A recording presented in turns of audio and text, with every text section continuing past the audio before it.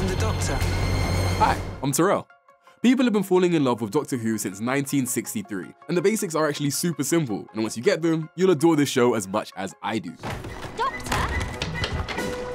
Doctor who? Doctor Who is about a time-traveling alien called the Doctor, and they're, well, I'll let them introduce themselves. I'm the Doctor. I'm a Time Lord. I'm from the planet Gallifrey in the constellation of Kasterborous. I'm 903 years old, and I'm the man who's going to save your lives and all six billion people on the planet below. That bit about saving everyone's lives, yeah, that's the Doctor's whole vibe. They don't mean to be a hero. I am not a good man. They really are. I'm not a bad man. I am not a hero. I'm definitely not a president. And no, I'm not an officer. You know what I am? I am an idiot with a box and a screwdriver. Just passing through, helping out, learning. What they want to be is an eccentric explorer, but the universe kinda has other ideas for them. Wherever the Doctor lands, there tends to be trouble, and once they find it, they can't help but put things right. The Doctor isn't violent. Sure, they fight monsters, but by being cunning and outwitting their opponents. Over the years, they've gained a reputation for it. Come on! Look at me! No plan, no backup, no weapons worth a damn. Oh, and something else I don't have. Anything to lose. So, if you're sitting up there in your silly little spaceship with all your silly little guns, and you've got any plans on taking the Pandorica tonight, just remember who's standing in your way. Remember every black day I ever stopped you, and then, and then, do the smart thing.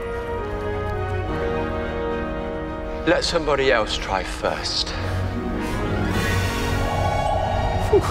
Good speech. The Doctor isn't their real name. No one knows what their name actually is. All we know is that they called themselves the Doctor. My name, my real name. That is not the point. The name I chose is the Doctor. The name you choose, it's like it's like a promise you make. The promise, in the Doctor's case, was to never be cruel or cowardly, and for the most part, they stick to it. That's who they are, that's what they do. But we should probably come back to. I'm a Time Lord. I'm from the planet Gallifrey in the constellation of Kasterborous. What an intro! The Doctor species are called the Time Lords. They're a bunch of time traveling aliens who live on the planet Gallifrey. Or they did.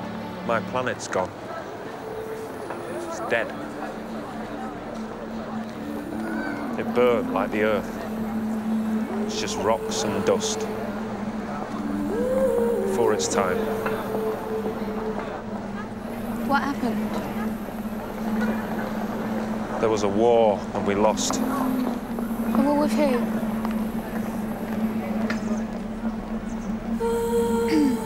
what about your people? I'm a Time Lord. I'm the last of the Time Lords. They're all gone. I'm the only survivor. I'm left travelling on my own because there's no one else.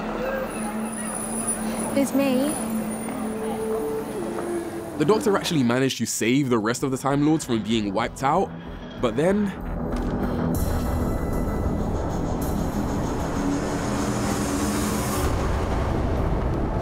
So not only are they a Time Lord, they're the last of the Time Lords. Being a Time Lord means the Doctor has two hearts and the ability to regenerate.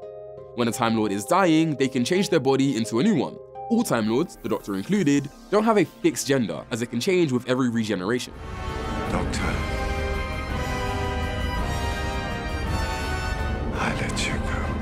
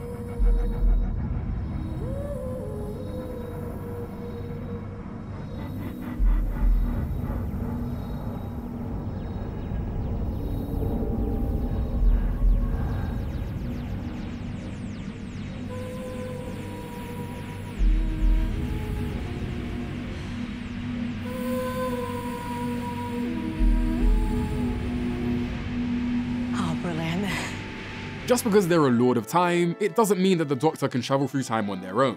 They need a time machine. The Doctor's time machine is called the TARDIS, which stands for Time and Relative Dimension in Space. If you were to look at the Doctor's TARDIS, you might not think it could travel the universe. You might not even think it could move. You really know to sulk, don't you? I'm not sulking. You live in a box. That's no more a box than you are a governess. Oh, spoken like a man. You know, you're the same as all the rest. Sweet little Clara works at the Rose and Crown. Ideas about their station. Well, for your information, I'm not sweet on the inside, and I'm certainly not.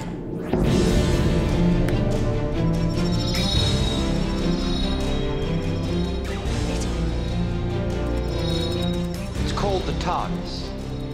It can travel anywhere in time and space. And it's mine. Liz. Look at it. Go on, say it. Most people do.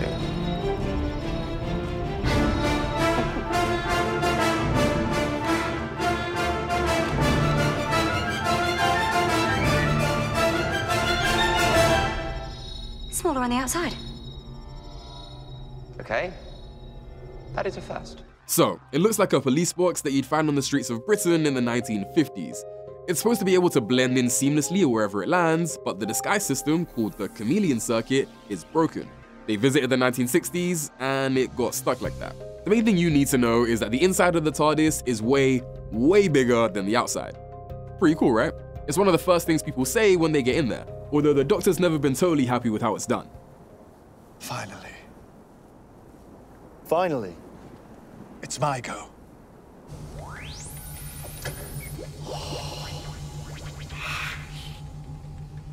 God!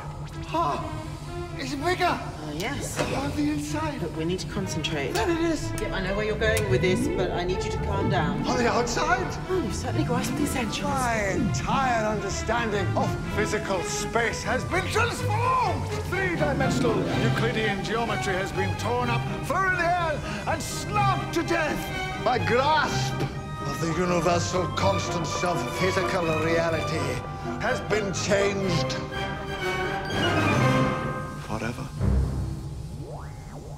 Sorry. I've always wanted to see that done properly. You might be wondering, how does that work? That's a great question. Over to you, Doctor. It's because insides and outsides are not in the same dimension. Which box is larger? That one.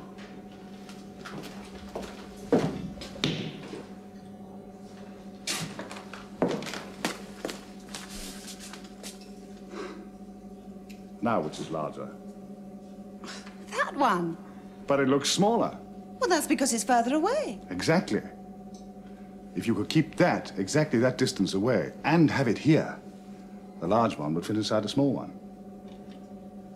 That's silly. I don't know, seems pretty cool to me. And that's it. Those are some of the basics that you need to know. Drop comments below if you think there's anything I've missed. And remember, if you find yourself trapped with something that looks like this,